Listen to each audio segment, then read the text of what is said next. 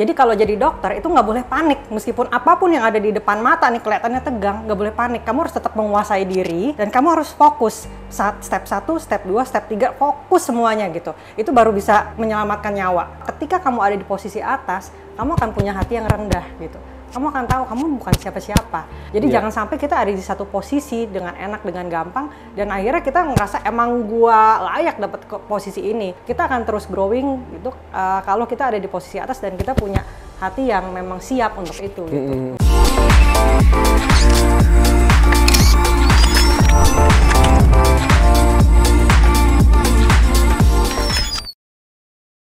Halo teman-teman, udah lama banget gak ketemu nih ya. Nah hari ini aku udah sampai di Dermaster Crystal. Aku akan ketemu sama Dokter Jessie. Nah Dokter Jessie ini adalah salah satu dokter yang terkenal di Indonesia dan dia juga adalah head dokter Dermaster seluruh Indonesia.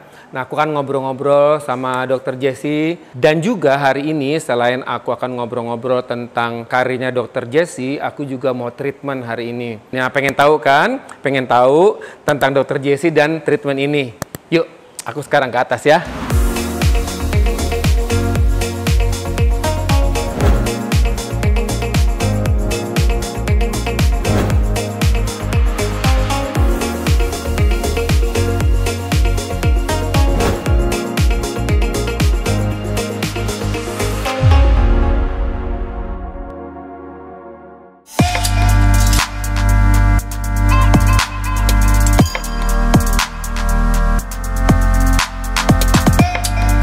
Hai teman-teman, sekarang aku sudah berada di Dermaster dan aku hari ini akan ketemu dengan Dr. Jessie. Ini Dr. Jessie adalah dokter yang sangat terkenal di uh, bidang dokter estetik. Ya dok, halo dok. Halo, apa kabar? Baik. Thank you buat kesempatannya ya. Iya, sama-sama. Aku juga thank you. Nah teman-teman, aku di sini akan ngobrol-ngobrol uh, dengan Dr. Jessie uh, seputar proses Dokter Jessie menjadi seorang dokter estetik yang sukses. Sekarang aku langsung mau nanya nih sama Dokter mm, Jessie, yeah. dok, kalau kita mendengar dokter umum banyak, mm, ini kita mendengar dokter bedah banyak mm, gitu, dokter spesialis yang lain tuh banyak banyak. Mm. Nah dokter dulu kenapa milihnya jadi dokter estetik nih? Sebetulnya aku jadi dokter estetik tuh karena memang aku tuh dari SMA, aku tuh suka banget sama make up gitu. Make up itu kan juga mempelajari um, kontur kan sebetulnya kan. Jadi kalau shape hidung yang mancung kayak gimana, shaping rahang tuh kayak gimana, segala macam. Nah dari situ tuh aku ngerasa kayaknya aku suka nih art kayak gini nih untuk kontur muka orang gitu. Tapi kan waktu itu kan nggak ada jalannya mau ngapain ya atau mau jadi plastic surgery atau gimana segala macam gitu. Nah tapi sekarang uh, along the way aku ngeliat ternyata kan aku sering kayak ke Korea kan. Kebetulan pas aku lulus jadi dokter umum itu aku tuh kerja di satu company uh, yang memang jual mesin-mesin Korea gitu dan aku jadi sering berangkat ke sana gitu jadi kayak tiga bulan sekali aku ke sana dan begitu aku sering ke sana itu kayak uh, jadi apa pikiran aku terbuka gitu. Oh ternyata untuk contouring muka orang jadi cantik itu nggak harus yang kayak bedah-bedahan atau hmm. potong-potong gitu karena banyak juga orang yang masih takut untuk ke arah sana gitu. Jadi ternyata untuk contouring muka orang tuh bisa lewat cuma injeksi atau cuma lewat pakai mesin gitu. Jadi nggak usah yang potong-potong gitu. Nah dari situ aku mulai mendalami tuh karena aku sering banget ke Korea. Jadi aku sering banget belajar ke sana gitu dulu kayak setahun bisa empat kali ke sana hmm. memang khusus dan akhirnya sama si dokter Koreanya itu dia bilang ya udah karena kamu sering banget belajar bisa nggak kamu tuh jadi ki dokter aja untuk uh, waktu itu kita uh, benang ya tarik benang gitu kamu jadi ki dokter untuk uh, tarik benang dan aku tugasnya begitu aku sampai Indonesia aku harus ngajarin dokter-dokter itu untuk tarik benang juga hmm. itu sebetulnya cikal bakalnya aku jadi dokter estetik dan membuka klinik Dermaster klinik contouring. Tadi dokter kan ngomong soal contouring nih pertama hmm. tadi terus injeksi uh, uh, terus satu lagi pakai mesin. Nah gitu. pakai mesin itu uh apa sih contouring itu apa sih dok? Mm-mm. Jadi contouring itu zaman sekarang kan orang nonton kayak drama terus kan, yeah, ya yeah. kan? Pengen tuh mukanya tirus-tirus, aku nggak pengen dok cabi-cabi, pengennya tirus. Terus aku pengen nih dok kayak model kayak idola aku nih kayak gini yeah. gitu kan. Nah tapi aku selalu bilang sama orang, kita nggak harus jadi siapa pun, tapi kamu bisa jadi versi terbaik dari diri kamu. Kamu okay. bisa jadi versi tercakap dari diri kamu. Okay. Dan itu tuh sebetulnya nggak ada ukuran matematikanya. Uh -huh. Jadi misalkan aku akan bikin, misalkan hidung kamu tuh yang pas kayak gimana, semancung apa Iya. atau dahi kamu atau eh, dagu kamu seharus di misalkan dipanjangin atau dipendekin seberapa jadi Hmm. nanti hasilnya itu tetap cakep tapi tetap natural jadi nggak berlebihan gitu Oke. loh karena menurut aku kita perawatan yang berhasil itu adalah perawatan yang orang lain tuh nggak tahu gitu. Hmm, Orang lain nggak tahu lu udah apa-apain, tapi begitu ketemu, eh kok lu berubah ya, lu Hmm. lebih cakep ya, lu lebih seger ya gitu. Kok lu kayak lebih kurusan sih, padahal badannya nggak kurusan, mungkin cuma mukanya kita bikin lebih shape gitu. Oh, tadi dokter juga bilang um, injeksi ini apa injeksi? Maksudnya di suntik-suntik di muka atau gimana? Ya bisa memang ada injeksi yang dilakukan di muka, cuma pasti kita nggak pakai jarum yang gede yang ada di bayangan Oke, kita, wow segede gambrong oke. gitu ya. Tapi jarumnya jarum yang super tipis, jarum baby pokoknya. Dan itu pasiennya dikasih 6 krim dulu, dan di dalam obatnya juga kita campur obat uh, obat baal lah istilahnya obat anestesi. Jadi cukup uh, nyaman prosesnya itu, nggak bikin yang uh takut kapok nggak mau lagi gitu, kayak gitu. Tapi intinya kenapa sebenarnya dokter memilih sebagai Hmm. dokter estetik? Kenapa enggak dokter umum ya? Oke, dokter umum kan memang awalnya atau dokter ahli bedah gitu kan? Karena saya males jaga malam. Oh, gitu. Sejujurnya. iya kalau di rumah sakit tuh jaga malam gitu kan. Aku kan orangnya kan harus tidur 8 jam sehari ya, baru bisa seger gitu kayaknya gitu. Jadi pusing gitu kalau misalkan jaga malam kurang tidur tuh aku pusing. Jadi Oke. aku tuh sebenarnya lebih memilih kerjaan yang memang ke satu emang passion aku di estetik gitu Ya. ya, di contouring. Kedua emang eh, ya aku pengennya sih kerjaannya yang ketemu mempercantik orang, meningkatkan kualitas hidup orang itu kan kalau kita bikin Oke, orang lebih cantik oke. kan pasiennya happy. Kadang-kadang WhatsApp, aduh dok, aku tuh sekarang eh, happy banget loh kayak gini. Suami aku, eh, teman-teman aku juga happy banget gitu. Jadi aku tuh happy aja gitu loh, bikin mereka tuh jadi the best version of themselves. Oh, itu berarti Iya, intinya adalah di iya, situ iya, ya, iya. Dok ya. Berarti sama dong sama aku dulu ya, kenapa aku mau jadi kayak fashion show director atau fashion choreographer tuh karena dulu aku seneng banget lihat model, aku seneng banget. Kayaknya kalau model diginiin kayaknya keren deh. Kayaknya model kalau jalan begini bagus deh. Iya. Kayaknya kalau model kayak begini bagus. Jadi kita sebenarnya sama ya, Dok ya. Iya. Kurang lebih ya. Kita art juga sama-sama Iya, art benar. iya. Tapi kan tantangan sama beratnya kan sebenarnya sama ya, Dok ya, sama sebagai dokter gitu, Dok. Sebetulnya sih semua profesi itu pasti ada kesulitannya lah ya, Hmm. nggak mungkin yang enak terus gitu, pasti ada kesulitannya. Tapi kalau kita suka gitu, kita passion gitu, kayak rasanya setiap kesulitan ya kita bisa jalanin aja, kita bisa lampauin aja, iya nggak sih? Iya, benar, Ah, ah, benar. Dan itu jadi, lebih enteng buat kita kan, karena kita memang suka di situ. Iya, jadi passion yang nomor satu ya, Dok ya. Mm, passion. Nah, kalau aku ngerasa kalau orang di bidang apa pun passion gitu kan, dia kan pasti kan uh, suka, otomatis dia jadi sering melakukan, ada repetisi yang dilakukan. Lama-lama dia akan menjadi expert, ya nggak sih? Iya, benar, Profesi benar, apa pun. benar. Mm, jadi yang penting ya memang harus ada passion ya awalnya ya. Selain passion apa dok untuk menjadi seorang dokter yang sekarang kan ahlinya di estetik nih? Apa selain passion nih dok?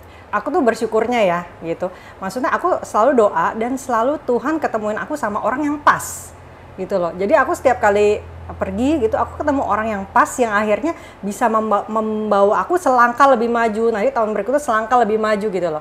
Karena menurut aku juga kalau kita nggak ketemu sama partner yang pas kita nggak ketemu sama Oke. orang yang pas tuh kadang-kadang jalan kita ya oh di situ-situ aja gitu loh. Padahal mungkin kita punya potensi gitu tapi jalan kita di situ-situ aja. Dan aku bersyukurnya ketemu orang-orang yang pas aku bisa mengembangkan uh, passion aku lebih lagi gitu dan itu juga idenya diterima dan kita bisa jadi lebih gede lagi lebih gede lagi gitu. Jadi menurut aku uh, ya orang punya modal kepintaran boleh gitu bagus gitu punya talenta itu juga bagus gitu. Iya. apalagi kalau ada modal biaya gitu untuk sekolah lagi itu bagus gitu.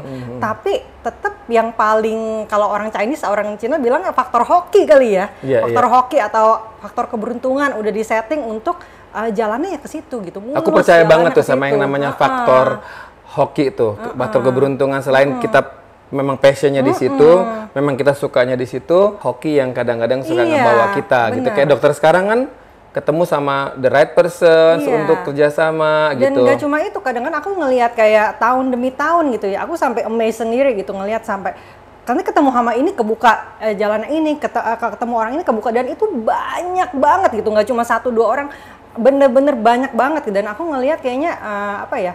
Ya memang kita hidup, kita cuma manusia biasa ya. Kita butuh Benar, banget tuh kayak benar, eh, benar. Tuhan tunjukin jalan-jalan itu Iya, gitu loh. benar, benar. Iya. Dan teman-teman ya, Dr. Jess ini adalah sekarang sebagai head dokter dermaster di seluruh Indonesia nih. Jadinya ini adalah kalau bahasanya ini ketuanya nih, jadi kalau misalkan mau belajar segala macam, mesti sama dokter Jesse ini. Ya bener nggak dok? Aduh. Itu ya. kayak malu-malu gitu mukanya. ya tapi ya puji Tuhan lah dipercaya ya. Iya, iya, masih itu dia ya. ini. Dok, ini Iya. kan pasti dokter ada proses sama tantangannya nih menjadi seorang dokter yang sukses sekarang ini nih. Apa sih proses sama tantangannya dulu? Dok? Tantangannya jujur aku even nggak kebayang bisa punya uh, chain klinik 16 kayak sekarang ya gitu. Aku kayaknya punya satu klinik aja kayaknya nggak nggak mimpi gitu loh gitu karena jujur aku kan memang lahir dari background keluarga yang sederhana gitu. Jadi ya nggak nggak mimpi lah kayak gitu. Tapi lagi-lagi aku diajarin tuh kebetulan aku, aku kan uh, di gereja gitu ya. Aku Ya. diajarin bahwa kita harus berani bermimpi besar gitu. Kamu tuh harus punya faith, kamu harus punya iman gitu bahwa uh, pasti deh masa depan kamu bagus gitu. Aku memberanikan diri untuk bermimpi gitu, walaupun kayaknya kadang-kadang diketawain orang gitu ya mimpi aku gitu. Tapi aku memang pernah sampai ada masa-masa yang kayak papi aku kan udah meninggal dari aku uh, SMP akhir gitu ya. Jadi uh, dan mami aku kan juga ibu rumah tangga. Jadi kita kan pasti kesulitan banget tuh untuk ngebiayain aku sekolah gitu kan. Gitu. Nah, terus uh, sampai akhirnya pada suatu masa tuh di pa- pas aku kedokteran uh, semester akhir, masih mahasiswa kedokteran, duitnya udah habis. Jadi aku udah nggak bisa sekolah lagi gitu. Wah, waktu itu aku sempat bingung dan sempat kayak nangis gitu. Maksudnya, aduh gimana nih gitu. Apakah aku harus menghilangin mimpi aku untuk jadi dokter dan aku berakhir bukan siapa-siapa gitu atau gimana gitu. Jadi setiap malam aku tuh ngalamin masa-masa bawah ya dalam hidup kita gitu loh. terbu- ya, apa, terbawah, di mana kayak masa depan itu kayaknya abu-abu gitu nggak bisa ngelihat apa pun ke depan gitu. Mungkin kalau ada orang lain yang ditakdirkan punya keluarga yang paling enggak nggak terlalu ini tapi ada duit untuk sekolah tuh mungkin lebih nggak deg-degan ya. Kalau aku tuh lebih kayak deg-degan aduh gue mau jadi apa gitu ke depannya gitu. Entah gimana gitu selalu aja ada jalan gitu. Pas semesteran mau bayar kuliah tuh selalu aja ada jalan gitu. Entah jual apa kayak jual apa pokoknya ada yang bisa dijual. Akhirnya sampai aku tuh bisa jadi dokter gitu. Dan pas aku lulus jadi dokter aku kebayangnya oh aku jadi dokter jaga puskesmas aja juga nggak apa-apa kok. Yang aku satu hari uh, uangnya cukup buat beli aku makan gitu atau aku ngekos atau apa gitu. Aku mikirnya cuma kayak gitu gitu. Tapi entah gimana di hati aku tuh kayak ada yang ngingetin gitu. Eh lu inget gak sih sama mimpi lu gitu Iya. kan? Dan aku bawa doa itu bawa doa setiap hari gitu aku doain. Dan ya akhirnya bisa kayak begini gitu dan aku tuh sampai detik ini kalau inget kayak ke belakang gitu kayak kok bisa ya kayak begitu ya gitu kayak kadang-kadang Tapi dokter nggak berhenti berdoa kan sampai sekarang? Nggak berhenti Maksudnya walaupun berdoa. udah sukses. dan ya itu justru aku yang kayak sekarang kalaupun aku ada di posisi sekarang aku ngerasa nggak ada yang aku banggain gitu loh karena aku tahu aku bukan siapa-siapa aku nggak punya uang Uh, kalaupun aku sekarang ada skill tapi orang lain juga bisa punya skill yang hebat. Jadi aku tuh bukan siapa-siapa gitu. Aku ngerasa sampai sekarang gitu. Kalau aku sekarang bisa posisi sekarang tuh aku ngerasa itu tuh bener-bener karena kemurahan Tuhan gitu. Bener-bener kayak grace banget gitu. Kayak ya orang-orang yang bukan siapa-siapa diangkat gitu. Jadi kayak nggak ada yang mesti disombongin sekarang jadi apa yang aku punya memang rela untuk free uh, untuk bagiin ke dokter-dokter lain gitu karena supaya mencetak orang-orang yang juga bisa berprestasi kualitas hidup mereka juga bisa jadi lebih baik mereka juga bisa menolong orang lain untuk jadi lebih cantik gitu Mhm. Nah tadi itu prosesnya dok ya. Heeh. Nah tantangannya dokter sendiri waktu belajar menjadi seorang dokter estetik tuh apa? Kalau aku yakin mungkin teman-teman yang nonton ini tahu lah ya bahwa menjadi nggak usah menjadi dokter estetik, menjadi dokter umum aja itu prosesnya sebetulnya berat gitu. Iya. Di samping memang ya kalau kamu tetap ada biaya nggak usah mikirin kayak gituan, tetap aja prosesnya itu berat gitu. Iya. Kamu kan di Seberat apa, Dok? Gimana seberat apa sih? mentalnya gitu untuk menjadi dokter gitu. Jadi kamu nggak cukup pinter aja gitu, tapi kamu gimana caranya untuk bekerja sama dalam tim. Apalagi kalau misalkan nyawa di depan mata yang kita harus selamatkan gitu. Aku inget banget yang paling berkesan di aku tuh adalah waktu aku di bagian anestesi Iya. di mana itu kan di ruang operasi kita harus membius orang yang dari sadar dia benar-benar harus benar-benar gak sadar kita harus masukin intubasi ke dia segala macem. Itu yang proses yang paling berkesan banget sih buat aku gitu. Karena itu dalam hitungan detik kamu kayak bikin lumpuh otot-otot di paru-parunya dia nggak bisa napas dan itu perlu masukin selang gitu. Itu detik-detik yang menegangkan gitu. Dan di situ tuh aku belajar ketenangan gitu. Jadi kalau jadi dokter itu nggak boleh panik meskipun apa pun yang ada di depan mata nih kelihatannya tegang, nggak boleh panik. Kamu harus tetap menguasai diri ya Oke. dan kamu harus fokus. Saat step 1, step 2, step 3 fokus semuanya gitu. Itu baru bisa menyelamatkan nyawa gitu. Jadi uh, baru bisa ini. Jadi apa namanya dari situ sih sebetulnya uh, perjalanan jadi dokter beberapa banyak karakter yang dalam kehidupan sehari-hari itu akhirnya kita aku bisa terapin gitu. Hmm. Ada masalah seberat apa pun udah jangan panik. Kalau udah panik udah kalah, nggak bisa mikir. Hmm. Jangan panik, fokus, tenang, tenang dulu, diam, doa. Terus step satu, dua, tiga apa yang kita harus lakukan dan semuanya pasti akan berjalan. Kesulitan seperti apa pun pasti kita bisa tanganin. Seberapa sulit sih belajarnya dok? Itu kayak itu nerd ya iya, baca iya. tuh terus temen aku tuh gitu iya. baca mulu setiap hari baca mulu setiap hari baca mulu opositnya aku aku kan orangnya praktek praktek praktek iya, nggak iya, pernah iya. baca gitu iya, iya, iya, iya. nah uh, sebetulnya sih memang kalau kamu kita udah berkomitmen untuk kita mau jadi dokter gitu uh, ya kita harus mengurangi jam-jam hidup kita yang enak ya di saat teman-teman pergi ke mall gitu hmm. gitu ya ya mungkin kita nggak usah mimpi hidup kita senyaman itu okay. di perjalanan itu ya gitu. Jadi uh, apa namanya ya kalau aku pribadi aku memang udah men-setting aku harus belajar satu hari minimal 4 jam. Yeah. Aku harus baca itu semua bukunya 4 jam iya. gitu.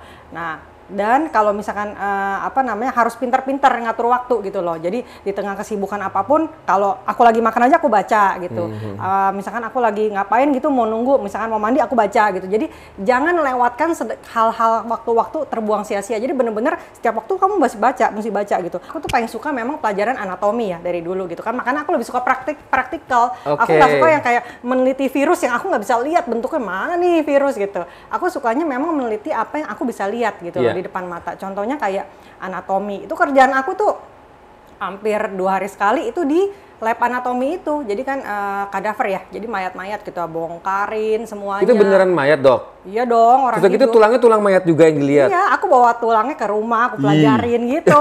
Aduh gue gak ngebayang deh. iya, karena bener-bener kamu tuh harus all out gitu, bener-bener harus memberikan oh, gitu. hidupmu, waktumu, fokusmu, semuanya ke situ gitu. Baru gak takut itu hidup mayatnya dok? Baru bisa bener-bener jadi. Awal-awal aku takut, tapi lama-lama aku bisa makan di situ. Oh, karena jadi karena kayak, udah terbiasa kayak, ya. Iya, karena udah kayak jadi shot, ya udah biasa aja gitu. Itu karena tugas Kar juga kan. Dan karena aku selalu mikir ada waktu adalah emas. Jadi kayak aku punya waktu dua jam, apa dua jam yang gue bisa dapat nih dari sini gitu. Kalau kita tekun, kita memang mau memberikan seluruh effort kita di situ, kita pasti jadi sih. Intinya mesti tekun ya. Iya, ya. Semua profesi orang, apa pun lah ya. Ya, semua orang bisa jadi pinter, hmm. tapi kalau nggak tekun menurut aku juga kayaknya kurang match ya. Iya, Walaupun betul. sepintar apa pun, kalau kita nggak tekun, mm -mm ya ya nggak bakalan berhasil. Iya. Nah dok ada nggak sih dulu pengalaman misalkan ya kan kalau sebagai dokter kan startnya kan pasti dari hmm. belajar dokter umum gitu iya, betul. praktek praktek ada nggak sih waktu itu kayak uh, fail gitu prakteknya? Nah kebetulan aku dari aku lulus kebetulan aku emang udah memantapkan hati aku buat aku maunya di estetik. Nah gitu. kalau di waktu lagi ceritanya waktu lagi training lah misalkan awal-awal hmm. dok di estetik itu ada nggak sih ada ada gagalnya nggak sih maksudnya? Pasti karena ada ungkapan adalah dokter yang hebat pasti ya nggak mungkin pasti pernah gagal lah ya okay. gitu ya. Semua profesi apa pun lah yeah, yeah. pasti pernah gagal gitu. Pasti aku ada be pernah beberapa kali kegagalan tapi dari kegagalan itu udah pasti kita harus jadi langsung wah udah kayak tamparan banget kan. Mm -hmm. kita harus pastikan bahwa kita nggak jatuh di lubang yang sama gitu. Okay. untungnya di estetik ini ini menurut aku agak aman. Kenapa? Karena semuanya bisa kita reverse gitu. Sebet reverse maksudnya gimana? Reverse kita bisa balik gitu. Misalkan kita uh, nyuntikin sesuatu gitu dan pasiennya nggak suka itu aku bisa reverse aku bisa suntik penetralnya gitu loh Oh ada ya dok itunya iya, ya? kayak gitu. Jadi oh, kalau orang masih kayak takut, eh gue takut nih kayak nyuntik filler apa segala macem gitu ya. Uh. Sebetulnya itu sesuatu yang kamu bisa balikin lagi gitu ke awal kalau kamu nggak suka pun gitu.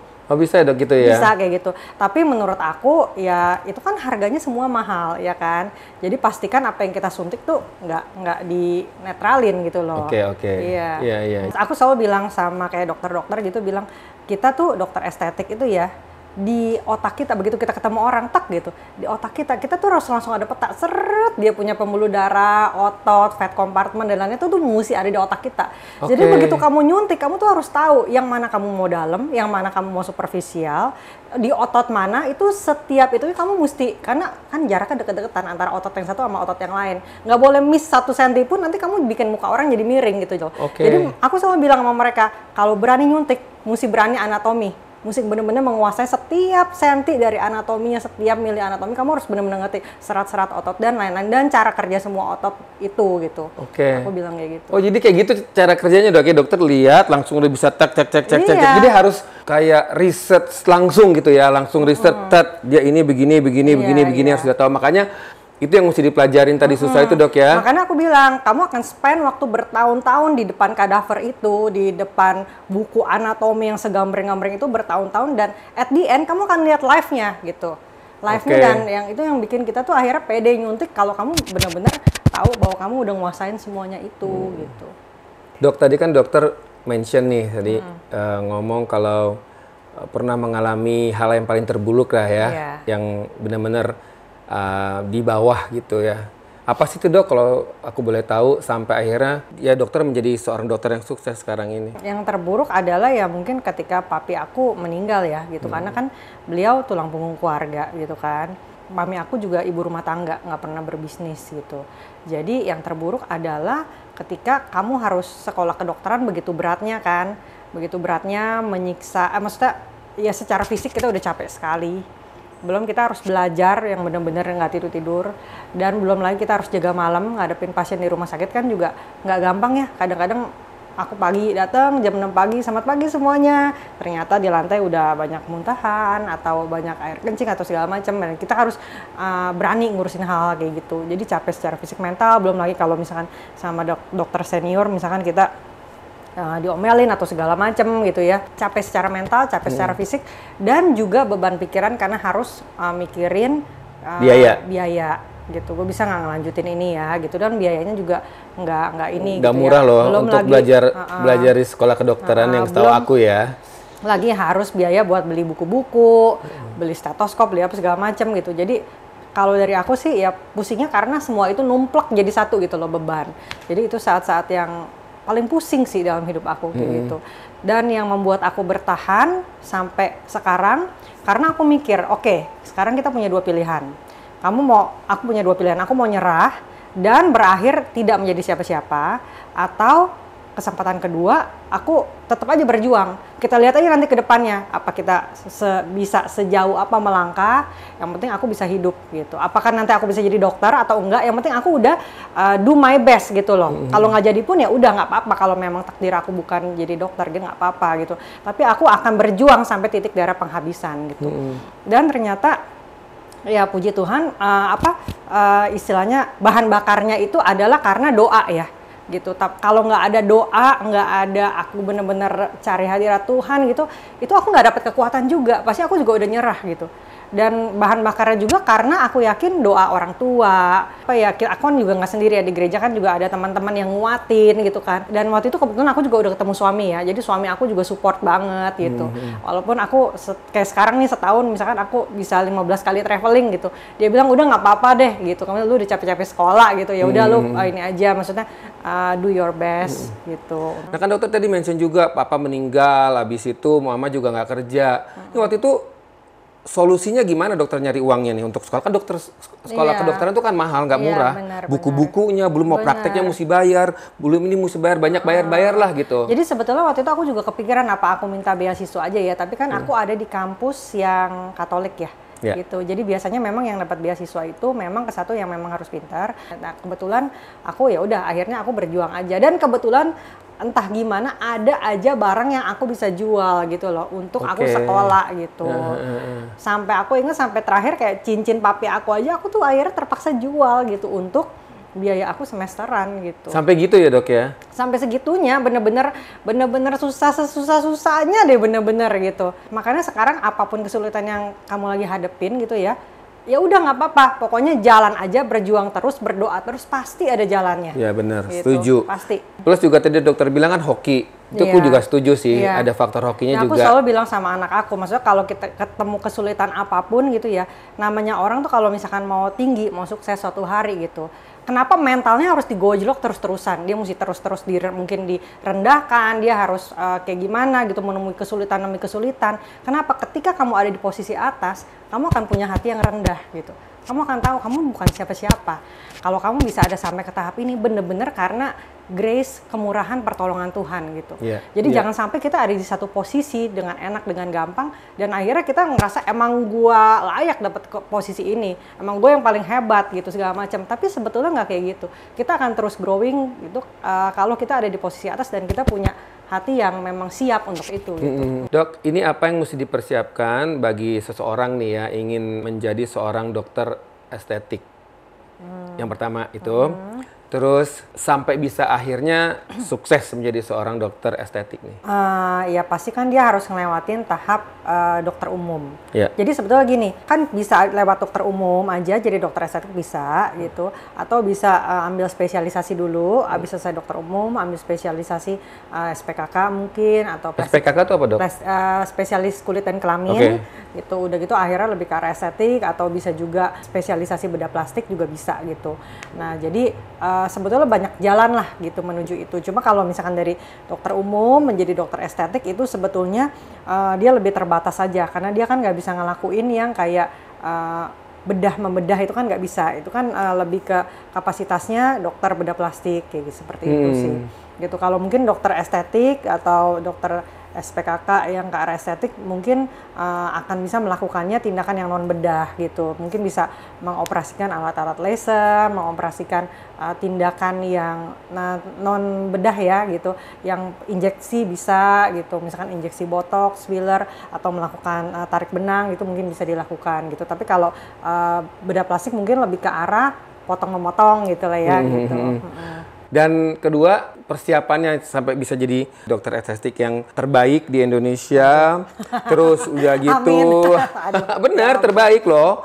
Terbaik di Indonesia sampai akhirnya menjadi head dokter nih di Dermaster Indonesia nih. Kalau aku bilang sih nggak boleh berhenti belajar ya, Iya. gitu. Udah pasti nggak boleh berhenti belajar dan mungkin mesti punya karakter yang jangan cepet puas gitu. Oh, Jadi oke. dan teknologi itu kan berkembang terus gitu. Jadi kita memang mengejar teknologi dengan passion kita gitu.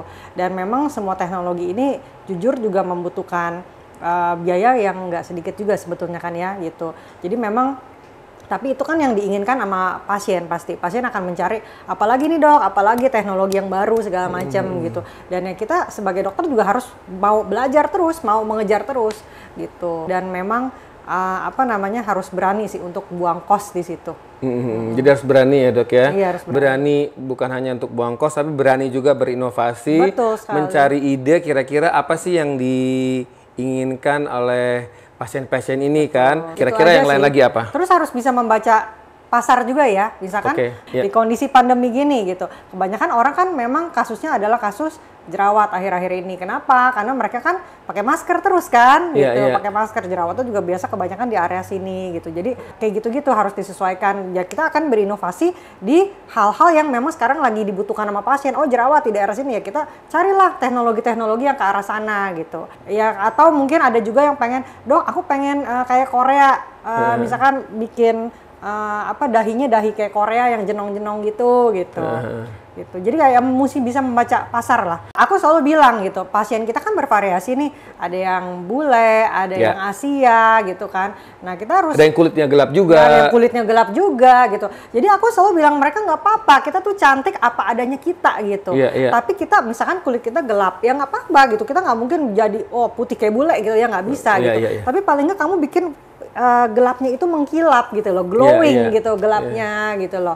Misalkan ada pasien yang datang bawa foto Angelina Jolie gitu ya, Hmm. gitu. Ya nggak harus juga. Kenapa Angelina Jolie cocok dengan bibir setebal itu? Karena dia punya rahang yang setegas itu gitu loh. Jadi Oh, kita harus gitu. bilang gitu, oh kalau oke. kamu nih kayaknya cocoknya begini, kamu cocoknya gini. Kita harus bisa custom juga. Itu kadang-kadang yang bikin pasien yang percaya sama kita gitu. Oh nih dokter nggak asal nyuntik nih gitu. Dokter Ya. ini akan bisa membuat muka aku nggak jadi aneh, tapi tetap cakep, tapi tetap natural gitu loh. Nah, Hal-hal kayak gitu. Nah, kalau dokter ketemu sama pasien nih misalkan Hmm. ya, dia maunya begini, tapi menurut dokter sebenarnya itu nggak bagus buat dia. Hmm. Terus dia bilang, gue mau bayar berapa aja gitu. Itu dokter gimana? Menurut aku itu kan selera ya. Iya, iya, kita iya. estetik nih kayak selera kayak kita pakai baju gitu kan Iya, ya. iya.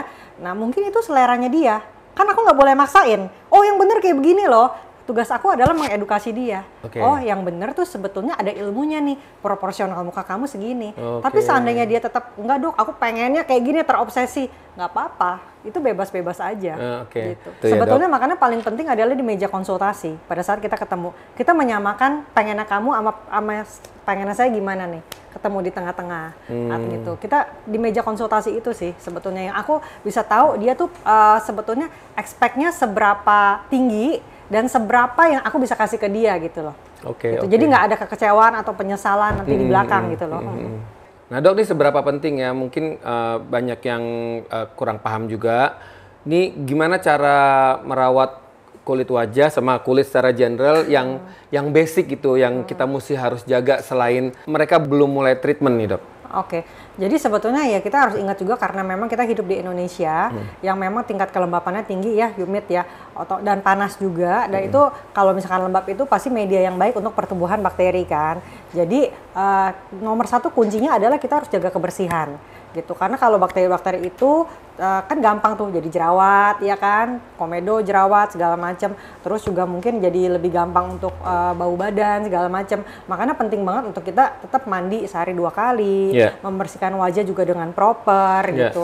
Tapi sebersih bersihnya kita di rumah memang sesekali kayak sebulan sekali kita harus tetap pergi ke klinik untuk angkat si sel-sel kulit mati itu segala macam. Iya. Kenapa? Karena kalau misalkan kita banyak sel kulit mati itu pasti eh, jerawat komedo juga bisa numbuh gitu. Kayak gitu. Karena kita kan eh, yang kita bersihin itu memang nggak bisa bersih sampai ke eh, sela-sela kulit itu kan. Gitu. Iya. nah itu harus memang eh, treatment sih. Memang kita harus bersihkan di klinik kalau seperti itu. Memang harus dengan bantuan mesin. Oke. dan saya memang nggak terlalu setuju sama yang kayak model dipencet-pencet sebetulnya. Iya, karena iya. kita untuk menghindari uh, kita kan orang Asia ini gampang untuk jadi hiperpigmentasi ya Iya. gitu jadi kalau jerawat gampang berbekas gitu kan nah memang kayak gitu-gitu sebetul sebaiknya dihindari gitu kegiatan memencet segala macem gitu ke satu bisa nimbul jerawat yang baru di sebelahnya kedua juga bisa jadi bertanda gitu kan sayang Nah ini kan ada, ada teknologi baru nih, ada mesin baru nih datang iya. ke Dermaster nih, Iya. dok. Namanya Hydra Facial ya. Betul, betul. Sekarang ada itu baru dok ya. Ada. Nanti aku mau coba ya dok ya. Oke. Nanti aku mau coba sama teman modelku juga Boleh, ya dok boleh, ya. boleh, boleh, boleh. Nah ini terakhir aku mau tanya sama dokter nih.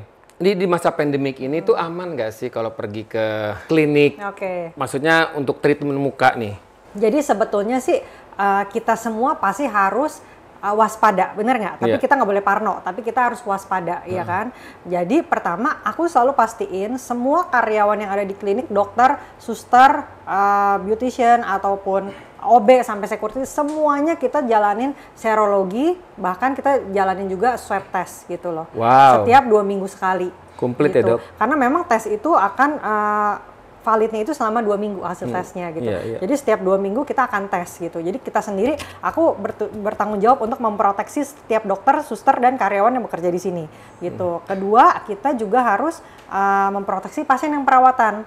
Jadi pasien kalau perawatan memang kita uh, sarankan mereka kita sarankan kayak kita wajibkan sih sebetulnya mereka untuk melakukan uh, rapid test dulu sebelumnya gitu supaya enak sama enak gitu kan gitu jadi sesudah mereka lakukan rapid test baru kita lakukan perawatan. Itu pun juga kita atur jam pasiennya. Jadi memang uh, satu pasien langsung ditaruh ditaruh dalam satu ruangan. Jadi nggak boleh ruang tunggu kita pastikan kosong jadi setiap pasien satu ruangan gitu, jadi untuk nggak bercampur sama pasien lainnya. Dan setiap pergantian pasien di ruangan itu memang ruangannya semua dikasih waktu 20 menit untuk disteril. Steril dok. ya. 20-30 menit untuk disteril semuanya. Jadi semua uh, diganti, bedsheet semua diganti, terus semua permukaan yang kontak dengan ini contohnya kayak lemari-lemari kayak gini-gini semuanya dilap pakai desinfektan, lantai juga dipel juga, kita pel pakai desinfektan pakai karbol juga, terus di UV, di ozon itu selama 30 menit. Baru ganti pasien berikutnya baru Wah. uh, apa kasih bedsheet yang baru lagi semuanya. Ini cukup bersih ya teman-teman Hmm. ya. Jadinya kalau teman-teman ingin datang ke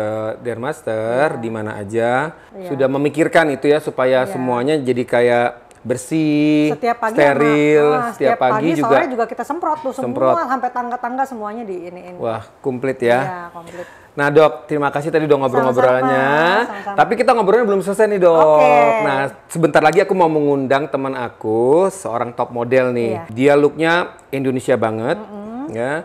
Terus udah gitu, uh, menurut aku sih dia cantik sekali. Iya. Khusus looknya kayak Indonesia. Iya. Terus dia unik punya kulit yang tadi aku ngomong gelap. Iya. Nah ini kan Eksotis ya? Eksotis, nah Iya. gitu. Nah dia juga nanti ingin mencoba Hydrofacial. hydrofacial juga Iya, seperti kayak aku nanti mau coba. Nanti aku juga pengen ngobrol-ngobrol sama dokter nih bersama dengan dia nih Iya. sambil nunggu dia datang. Nah, apa sih pentingnya treatment untuk seorang model gitu ya? Oke. Dok, aku lagi sambil nunggu nih teman aku Ya, tadi aku bilang sama oke, dokter, dia top model Indonesia, namanya Advina. Oke. Nah sekarang udah sampai di sini, kita undang ya. Oke. Advina. Halo, apa kabar? Iya, aku biasa panggilnya nama nama panjangnya kan Advina, tapi aku biasa panggil dari awal tuh dulu namanya Vina. Nah, lebih, lebih gampang. Lebih iya. gampang. Aku sampai terpukau ya, cantik banget. Cantik ya dok ya? Iya, cantik banget. Dok, jadi ini story-nya nih ya, aku sama Advina nih. Iya. Dulu pertama kali aku kan sering bikin show waktu itu untuk siapa ya? Eh, untuk Aji Notonegoro ya, Aji Notonegoro. Dan pas kebetulan Advina itu hmm, pertama kali jadi modelnya bersama dengan eh, Aji ya, dengan Aji dan dia punya agensinya. Nah, ketemulah aku sama yang namanya Vina ini. Terus datang cuk cuk cuk lagi pas fitting, nih perempuan mukanya Indonesia banget, cantik siapa ya kok kayak orang Brazil gitu. iya, iya. Datang lihat kucuk kucuk kucuk kan. Setelah gitu, oh ya ini kita buat fitting ya, ini panca ada namanya Advina, udah kenal dari situ. Nah dari situ bisa dibilang jarang ya untuk bisa nembus eh, sebagai model nih di Indonesia gitu kan. Mereka identiknya dengan muka yang Indo atau mukanya yang Oriental gitu. Nah nongol lah si Advina ini gitu. Nah pada waktu itu kan memang kulit dia kan agak berbeda nih dok, dok ya. Dulu ber- jadi berapa lama ya Advina eh, jadi model ya? Aku aktifnya di 2003, 2004 ya. 2003 betul sampai sekarang ya. Nah, sebelum kita tanya mengenai treatment nih dok ya, aku juga mau nanya nih biar sekali dokter tahu, gimana sih kok bisa nembus akhirnya jadi eh, seorang model dengan look yang Advina seperti kayak gini kan ya dok ya? Eksotik. ya. Nah, eksotik itu. Dulu Advina gimana sih? Pasti kan nggak gampang ya. Maksudnya kan orang lihatnya langsung yang putih gitu. Gampang justru dulu aku ngerasanya minder karena Ah. yang waktu itu pasti Kak Panca juga tahu lah di, di backstage tuh model-modelnya yang kulitnya putih terus kalau enggak yang mereka mukanya mix Indo Mm-mm. terus Oriental terus sedangkan yang kulitnya gelap mukanya ya mukanya Indonesia kayak bisa dihitung jari ya Kak Panca Hmm, waktu ya, itu. Tapi ya karena berjalannya waktu ya karena sering show jadi semakin pede aja jadi Iya. ya ya udah aku berbeda sama yang lain tapi ya aku pede-pede aja gitu. Oh, Iya. jadi itu jadi karena karena itu tadi dokter yang dokter cerita ya, kalau kita harus kita punya kemauan, Passion. kita punya passion, kita yakin di situ dan orang juga menerima, akhirnya dia menjadi salah satu Iya. top model di Indonesia gitu, Dok. nah, ini uh, Advina mau cerita nih, mau mau tanya sama dokter pastikan uh, treatment apa yang kira-kira. Iya. Gitu kan uh, aku suka banget ini aktivitas di luar Outdoor. Aku suka banget uh, kena panas Iya, iya, terus iya. aku juga suka ke pantai suka naik gunung jadi itu bikin kulit aku tuh kering banget Mm-mm. kulit aku emang dasarnya kering banget mm-mm. terus sama uh, karena kena matahari keseringan jadi banyak flek-flek gitu Mm-mm, di, mm-mm, gimana di muka Iya, iya, iya, jadi iya. biar bisa bikin kulit aku glowing gitu gimana Mm. Kalau kita dokter estetik itu kan aku harus lihat dua faktor. Jadi secara konturnya kamu, bentuk muka kamu, sama skinnya kamu kan. Nah, cuma ini sekarang kita sorotin skinnya dulu ya gitu. Kalau aku bilang sih, maksudnya eh, kamu nih cakep banget secara contouring gitu. Tapi secara skin juga bagus, tapi mungkin karena banyak aktivitas outdoor yang kena matahari segala macem, jadi eh, nah sun, ada yang namanya sun damage gitu. Sun damage. Jadi kita harus hati-hati juga sama si matahari ini karena matahari ini adalah satu faktor yang uh, salah satu faktor yang membuat kita jadi lebih cepat tua, kulit kita lebih cepat tua dari yang seharusnya gitu. Makanya penting banget kita cewek Asia ini untuk pakai yang namanya sunblock gitu. Nah, jadi pakai sunblock itu seberapa sering sih, Dok? Gitu harus apakah kalau mau pergi keluar aja? Kalau aku sih tetap pakai meskipun di rumah gitu. Kenapa? Karena Uh, Di kita kan juga. di rumah juga karena ada yang namanya UVA, UVB sama UVC. Kalau UVC itu tuh dia sinar yang jalannya lurus. Jadi makanya kita bisa ngintip lewat lubang kunci Oh. gitu. Nah, makanya tetap di rumah kita juga boleh pakai sunblock gitu. Cuma mungkin dengan SPF yang nggak terlalu tinggi gitu. Cuma kalau kamu aktivitas outdoor, nah pakailah dengan S- eh, SPF yang lebih tinggi gitu. Apalagi kalau misalkan kalau misalkan mau berenang gitu ya. Nah, makanya harus pakai sunblock yang eh, dia yang tinggi dan juga yang uh, waterproof kayak gitu. Jadi tergantung aktivitas kamu sih gitu. Cuman kalau mm, sehari-hari ya dok, aku biasanya cuma di bagian muka sama leher aja nggak apa-apa. nggak apa-apa sih. Harus se badan juga? Sebetulnya sih kalau misalkan iya, soalnya sekarang kita kalau aging kan sampai ke tangan-tangan semua kan. Iya. Nah kadang-kadang aku sering lihat tuh yang kayak ibu-ibu udah tua gitu dia sampai akhirnya filler ke sini-sini juga gitu loh. Karena kan Oh, iya sampai ke gitu, sini. karena seiring bertambah aging kan orang tuh suka miss tuh kadang-kadang orang cuma perhatiin muka tapi leher udah gitu dada. Kan cewek kan suka pakai kemben kan? Nah, udah gitu eh, tangan tuh kadang kurang perhatian aja gitu. Tapi aku selalu eh, suggest sih untuk pasien juga perhatiin sampai ke situ-situ karena itu area yang kalau foto kan kadang-kadang suka begini ya kelihatan tangannya gitu kan kayak gitu. Jadi eh, kadang-kadang ke- di sini ketahuan muda eh di sini ketahuan tua gitu kan. Kayak gitu. Nah eh, jadi pertama itu eh, Vina jadi harus pakai sunblock kalau mau aktivitas outdoor. Kedua juga yang tadi aku udah bilang sama Panca bahwa kita nih hidup di Indonesia di Indonesia itu iklimnya humid, jadi gampang banget untuk kita jadi komedo, gampang banget untuk jadi jerawat gitu. Jadi penting juga sih untuk kita uh, ngelakuin treatment di klinik gitu. Kamu kan cuci, kita cuci muka di rumah udah pasti kan gitu. Tapi di klinik itu harus dibersihin sampai ke sela-sela kulit itu bisa diangkat semua gitu. Oke. Terutama aku kan bilang sama Panca tadi aku nggak suka tuh yang dipencet-pencet gitu komedonya gitu kan. Takutnya nanti malah jadi jerawat baru karena tangan kita kan kotor atau jadi berbekas. Nah dengan si Hydra Facial ini enaknya tuh kamu bisa ngangkat semua saya kulit mati, komedo, blackhead, whitehead semua keangkat tanpa pencet gitu. Jadi kamu juga nggak sakit, kamu juga nggak trauma kulitnya Oke. gitu. Komedo hilang tuh dok. Iya, heeh, keangkat semuanya bersih. Problem model itu kan pasti banyak komedi kan Iya. di make up kan dok ya. Bener, bener. Nah ini aku juga mau tadi kan dokter mention nih soal matahari di luar gitu atau uh, polusi di luar atau semua aktivitas yang di luar nih. Ini seberapa penting sih dok ya treatment untuk seorang model nih? Selain tadi matahari juga, modelnya kan sering jalan di atas ketok yang lampunya kan Iya, itu sekuat kenceng. kayak matahari. Terus Iya. itu kalau pemotretan tuh lampunya juga kuat kayak sekarang ini kan Heeh. kuat ya dok ya. Iya, iya, itu seberapa penting sih seorang model tuh harus treatment?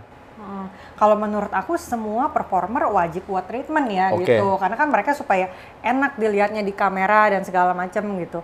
Jadi memang wajib banget sih buat treatment, apalagi kalau misalnya yang tadi uh, Mas Panca bilang kena make up setiap hari gitu, itu kan make up kan yang kayak kita pakai bedaknya itu kan nanti ditaruh lagi, nggak tahu dicucinya kapan gitu kan. Itu bakteri numpuk di situ semua kan gitu.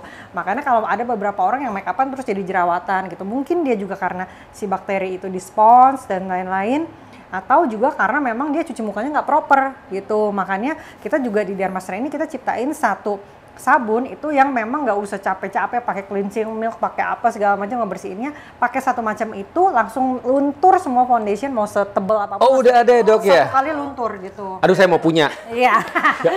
Penting banget dok. Itu penting banget tuh.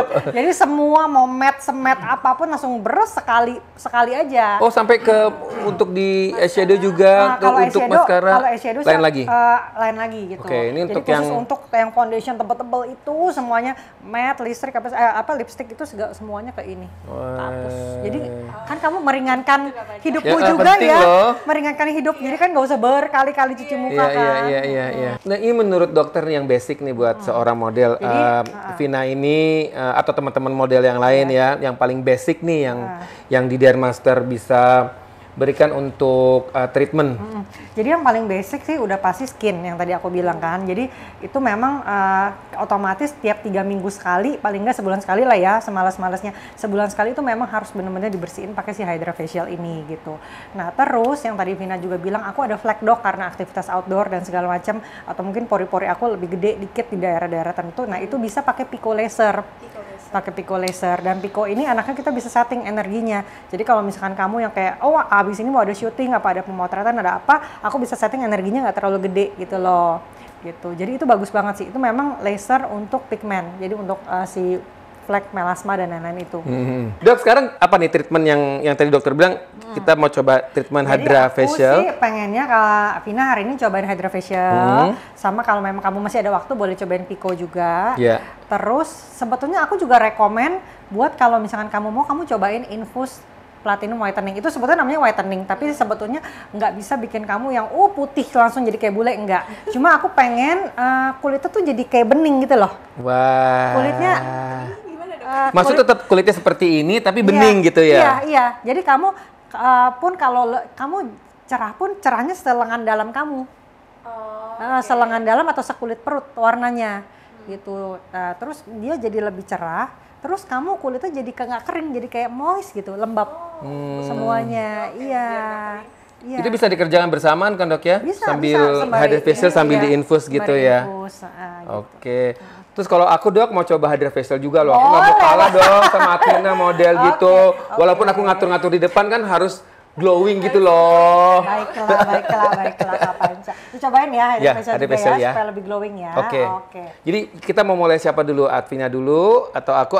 Mungkin Atvina dulu aja ya. Oke, boleh. Yuk. Boleh. Oke. Yuk, Yuk. let's go.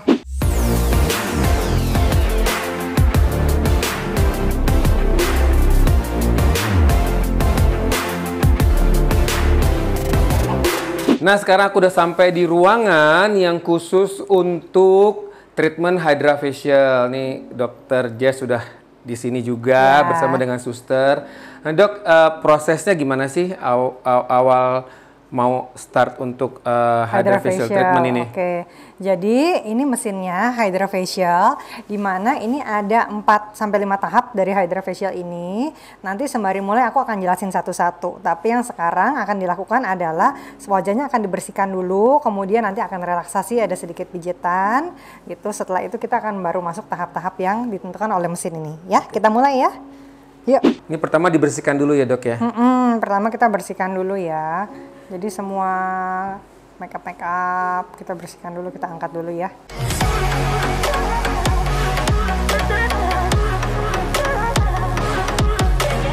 Nah ini eh, Hydra Facial ini dia itu dilakukan tiap 15 detik di seluruh dunia. Gitu. 15 detik. Ya, setiap- Maksudnya 15 detik gimana, Setiap ya? 15 detik itu ada yang Hydra Facial, ada lagi yang Hydra Facial. Jadi dia treatment paling uh, populer gitu, bahkan mengalahkan injeksi botox dan lain-lain.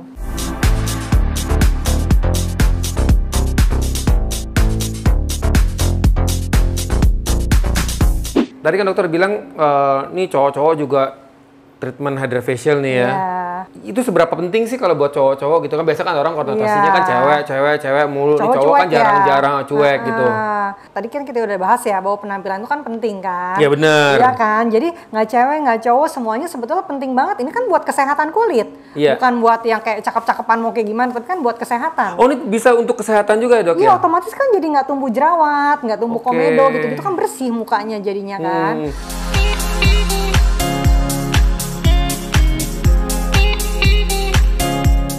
Proses ini sebetulnya memakan waktu bisa satu jam lebih, Iya. satu jam 15 menit, satu jam 30 menit karena memang dia banyak stepnya, terus dia ada massage-nya juga, dan ini alatnya nggak bisa dibagi gitu sama orang lain, jadi satu alat untuk satu pasien gitu, jadi memang harus biasanya saat dalam satu klinik memang punya 2 sampai tiga alat ini sih gitu, supaya bisa running uh, barengan gitu. Kalau nggak ngantri-ngantrian, Iya, karena iya. nggak bisa di sharing pakai alatnya. Iya.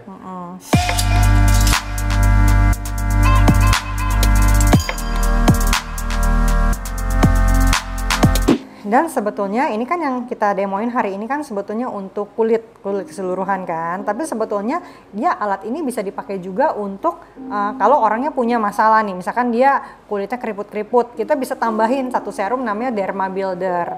Misalkan dia jerawatan atau flek, kita bisa tambahin lagi serum namanya Bretenol gitu loh. Jadi sesuai kondisi kulitnya, bahkan bisa juga dipakai untuk lips. Jadi bibirnya itu supaya lebih lebih uh, keangkat Moist sel-sel kulit ya? matinya lebih moist, terus jadi uh, warnanya juga lebih bagus gitu. Jadi kalau di bibir gimana caranya dok? Gigitin juga ya termasuk ya pas Ada lagi? alatnya khusus nanti. Ah. Terus bisa juga untuk hair juga. Oh hair juga dok iya, ya? uh, untuk ngerangsang pertumbuhan rambut. Pokoknya ini bagus banget sih. Dia lumayan multifungsi dan enaknya hari gini nggak semua orang kan juga mau sakit kan, Hmm. dipencet-pencet atau disuntik-suntik. Nah ini alat yang cocok gitu. Jadi nyaman banget nggak pakai sakit. Oke.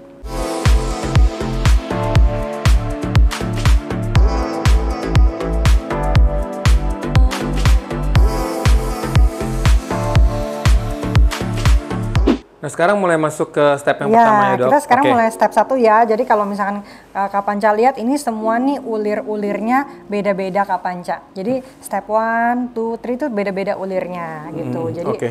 uh, dia bersihnya tuh memang ada gerakan-gerakan tertentu. Jadi nggak sembarangan main disedot-sedot aja.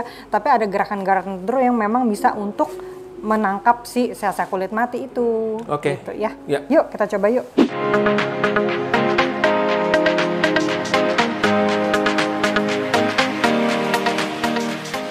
Jadi ini mesinnya juga gampang banget sih dipakainya. Itu juga ada petunjuknya semuanya. Oke, kita mulai ya. Kekuatannya juga bisa disesuaikan kok. Ini.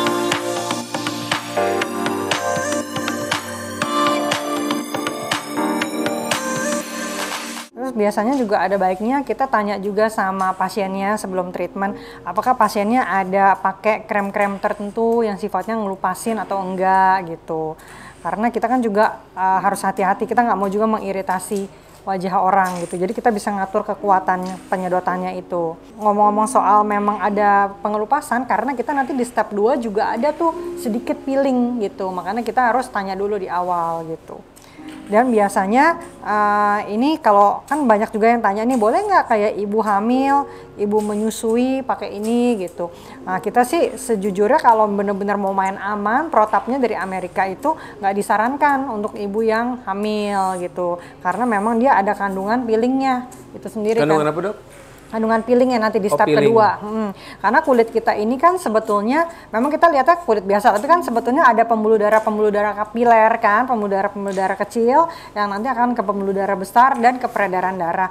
Nah itu memang uh, untuk bener-bener kalau mau cari amannya memang nggak disarankan sih gitu untuk yang ibu hamil. Ini saya juga dengar ya dok ya.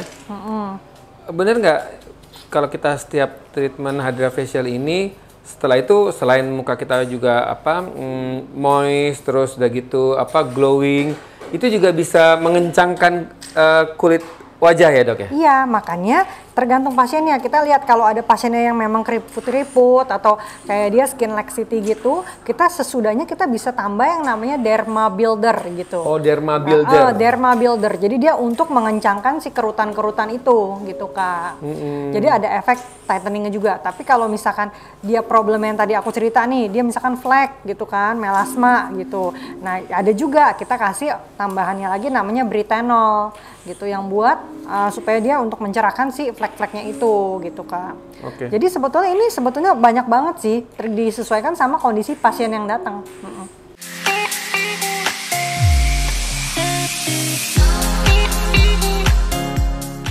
Eh, treatment hydra facial ini eh, aman dilakukan setiap saat ya maksudnya dok eh, Iya. sebulan sekali atau sebulan dua kali itu masih nggak kenapa-napa ya dok ya? Uh, kalau ada beberapa sih memang yang lakukan kayak dua minggu sekali rutin. Dua minggu sekali nah, rutin. itu sih kulitnya memang jadi bagus banget, jadi bersih banget gitu ya, Oke. gitu.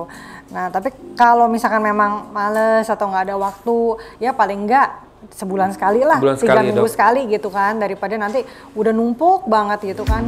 Uh,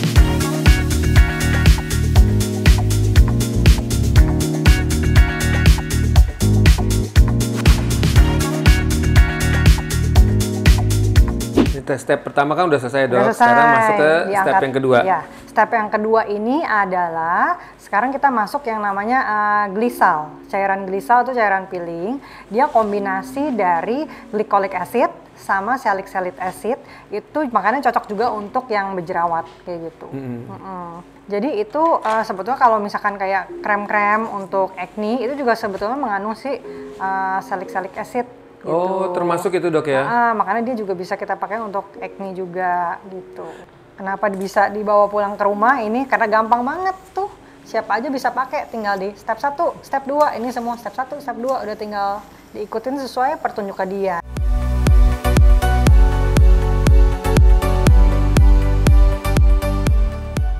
Tadi kan kita pakai yang ini. Nah, kita ganti itu. Sekarang kan tadi pakai yang ini kan, step Iya, Dok. 1, ini step 2, nanti step 3 pakai yang ini. Oh, gitu ya, Semua lingkarannya beda-beda. Oh se- semua lingkarannya beda-beda ya dok ya? Beda-beda lingkarannya.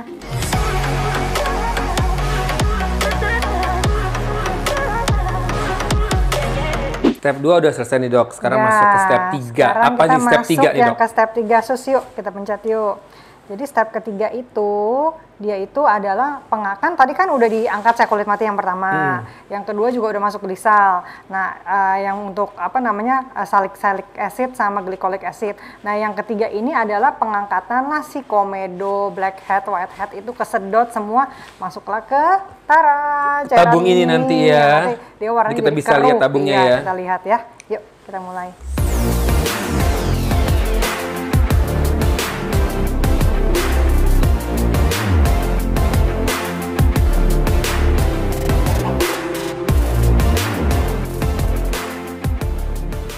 Rasanya agak nggak nyaman dikit nanti mungkin di daerah sekitar-sekitar hidung karena kan memang nanti susternya mau angkat komedo-komedonya ada gerakan-gerakan tertentu yang memutar itu yang mungkin agak-agak sedikit kurang nyaman sedikit.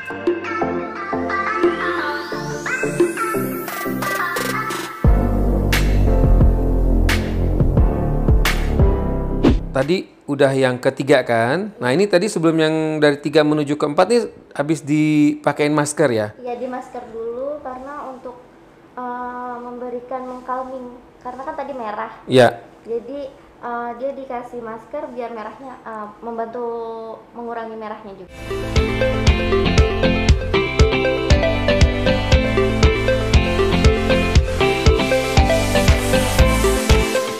Terus ini ke step 4 ya.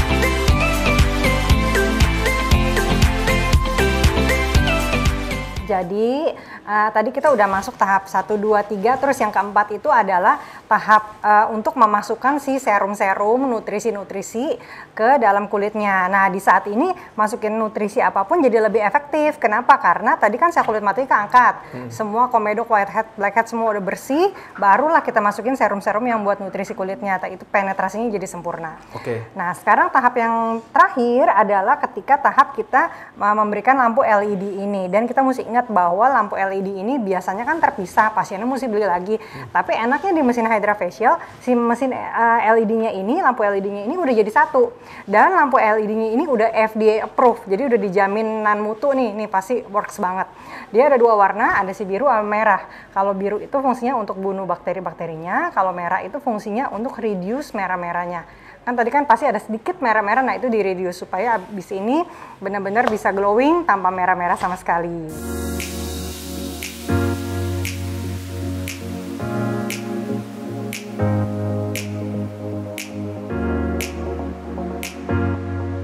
Jadi abis ini kapanca ya.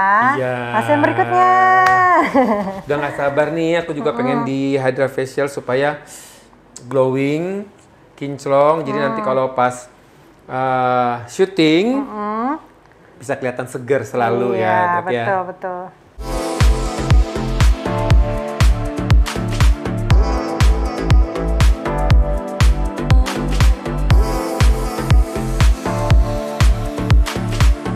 Jadi aku baru saja perawatan hydrofacial dan ini hasilnya.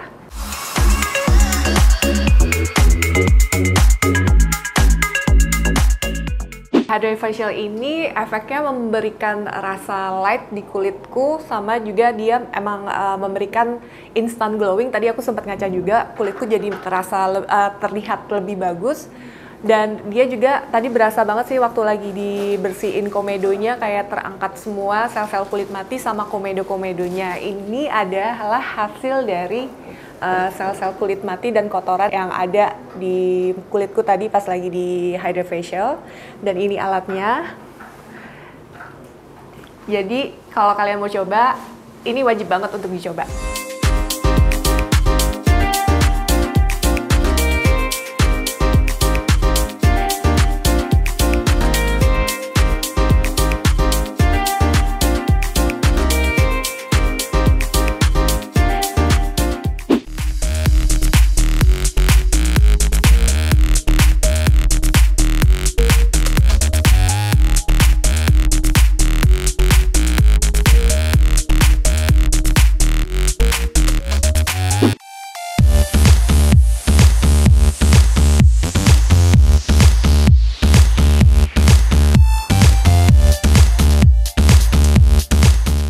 Udah selesai, akhirnya aku juga treatment yang namanya Hydra Facial nih di Dermaster bersama dengan Dr. Jessie dan suster yang tadi. Akhirnya aku mencoba seperti tadi Advina, dan emang bener nih hasilnya aku ngerasa kayak ringan gitu mukanya. Dan yang paling terpenting adalah aku nggak ngerasa yang sakit sama sekali. Aku tadi tidur, bener-bener tidur nyenyak. Dan yang paling utama itu buat aku adalah aku harus tampil glowing gitu. Jadi bisa dilihat nih sekarang.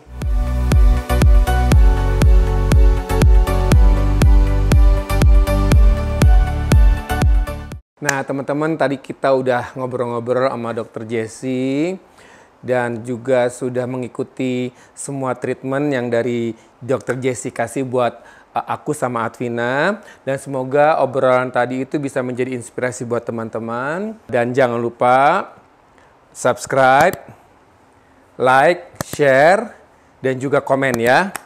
Thank you.